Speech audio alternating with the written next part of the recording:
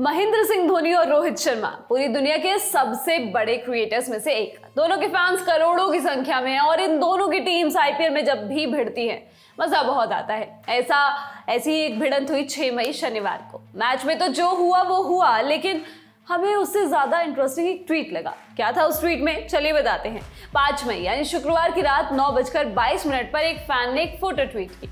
इस फ़ोटो में रोहित और धोनी नेट्स में बैटिंग करते दिख रहे हैं। खुद को रिटायर्ड आरसीबी फ़ैन बनाने वाले इस यूज़र ने फ़ोटो पर कैप्शन दिया।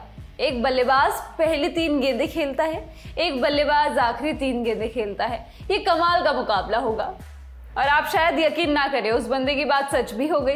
रोहित शर्मा और महेंद्र सिंह धोनी, दोनों ने इस मैच में तीन तीन गेंदें ही खेली। हालाँकि इस ट्वीट का दूसरा हिस्सा सच नहीं हुआ। रोहित ने इस मैच में अपनी जगह कैमरन ग्रीन से ओपन कराया, इसलिए उन्होंने पहली तीन गेंदें नहीं खेली तो धोनी भी आखिरी तीन गेंदें नहीं खेल पाए। सीएसके ने मैच को अट्ठारहवें ओवर की चौथी गेंद पर जीता और धोनी ने इस ओवर की यही एक गेंद खेली।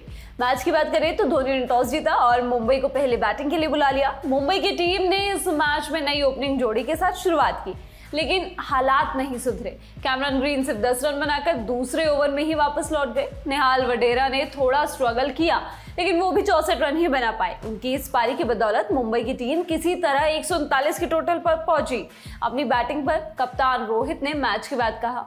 सब खराब ही रहा। हमारे बल्लेबाजों ने रन नहीं बनाए। बैटिंग यूनिट के रूप में हमारा ऑफ़ डे रहा।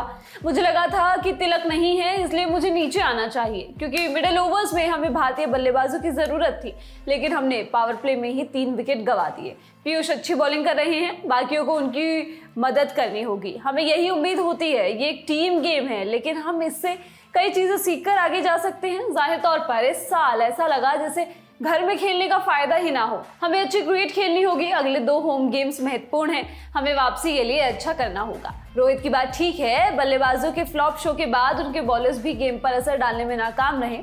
सीएसके ने बड़ी आसानी से मैच छह विकेट से अपने नाम किया। डेविन कॉन्वे ने चवालीस रन बनाए। मुंबई के लिए पीयूष चावला ने दो विकेट निकाले। इस वीडियो में बस इतना ही। वीडियो के लिए स्क्रिप्टिंग की है सूरज ने। मैं हूँ गरिमा। स्पोर्ट्स से जुड़ी खबरों के लिए आप लोग देखते रहिए ललन टॉप स्पोर्ट्स। शुक्रिया।